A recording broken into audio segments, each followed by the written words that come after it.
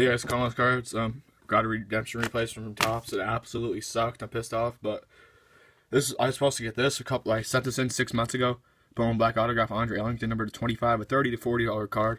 Probably one of my top five, six cards. Um, yeah, and I got the replacement today. You know, everybody's the same one, whatever. Shows you what it's for.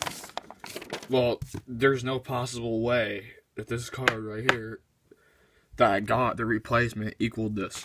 Well, first of all, I, this is for me tearing it, but it just didn't look tampered with at all. This is for me tearing it. I opened it up at the table, but anyways, I got the card. It came in two pieces, of thing like this. I tore them at the top. Opened it up, and it's a freaking Mohamed Sanu Chrome Auto base rookie. Or it's like a three dollar card. And then the tape is sliced. The tape is completely sliced. This is right when I opened it. The tape, I opened it, the tape was sliced.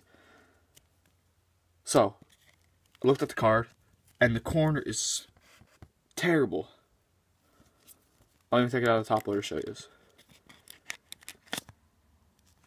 Slide up there. That corner is terrible. And inside of the of here, it looks like this corner was absolutely crushed. As you, can see on the whoops. As you can see on the top loader, the I mean the whatever you call it, the penny sleeve, it's absolutely crushed.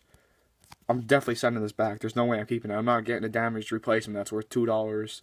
That should be a thirty to forty dollar card. There's no way this equals the value of that. There's just no way. The whatever the Bowman Black Andre Ellington was one in 898 packs.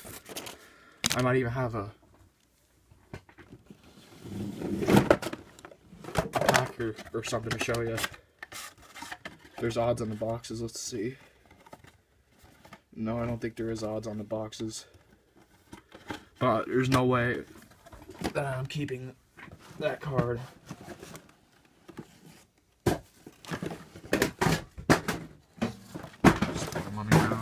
Alright, here's the pack, show you the odds.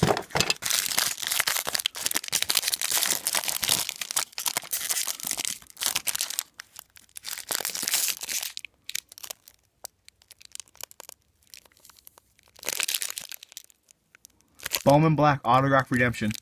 1 in 898 packs. I'm not keeping this Sanu, there's no way. So, yeah. Thanks.